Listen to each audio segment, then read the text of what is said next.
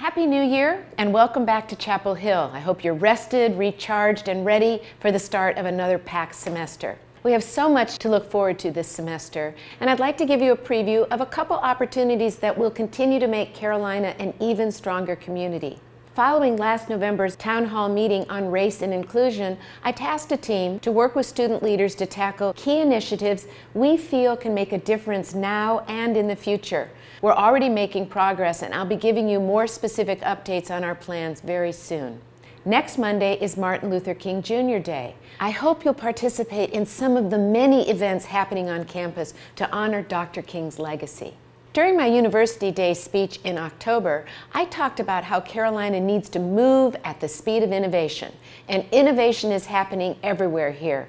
TEDx UNC, hosted by students in February, is one of the many ways we embrace bold ideas and charge ahead.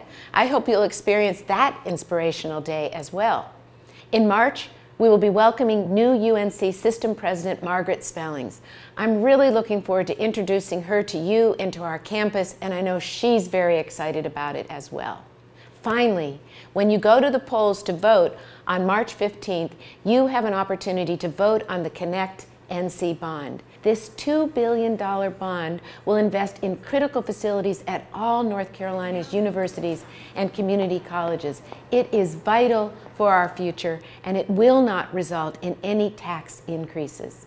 There's so much more taking place this semester, and I certainly hope to see you out and about campus at many of these activities.